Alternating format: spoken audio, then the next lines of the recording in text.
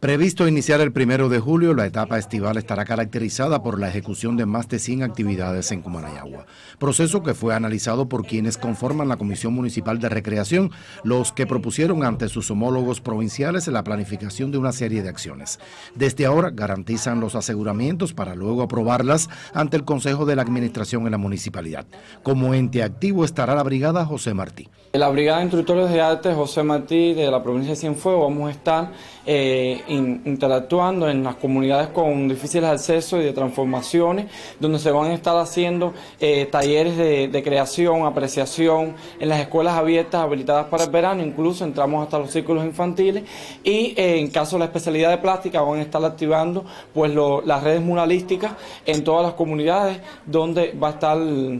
habilitado las escuelas y los círculos infantiles. En la cita participaron integrantes de los organismos de educación, cultura, INDER, salud y funcionarios del gobierno que tienen la misión de garantizar la realización de todas las acciones previstas, proceso que incluye zonas de montaña y barrios de la periferia. La brigada se va a dividir en dos partes. Eh, una brigada va a trabajar en julio y otra en agosto, donde van a estar eh, con diversas actividades, no solo en las escuelas y círculos infantiles que van a estar abiertos, sino se van a entrar más adentro hacia las comunidades con, difícil acceso, que es el objetivo de, entrar y activar las guerrillas 50 aniversario, que van a estar eh, interactuando en los lugares con poco acceso, con difícil acceso a la cultura.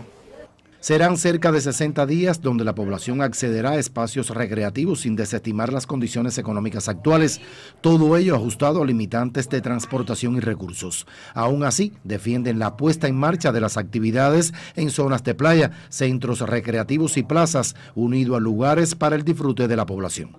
Guillermo Martínez López, Notisur.